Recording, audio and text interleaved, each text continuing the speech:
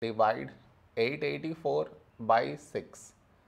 To do this division, we should frame it in this way. 884 here,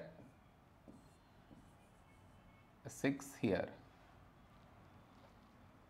This is your step 1.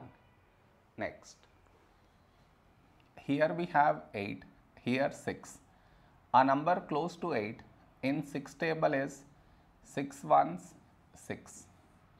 Now we should subtract, we get 2. After this, bring down the beside number, so 8 down, so 28. A number close to 28 in 6 table is 6 fours 24. Now we subtract, we get 4. After this, bring down the beside number, so 4 down, so 44. A number close to 44 in 6 table is 6 sevens 42. Now we subtract, we get 2. No more numbers to bring it down. So we stop here. This is our remainder, this is our quotient.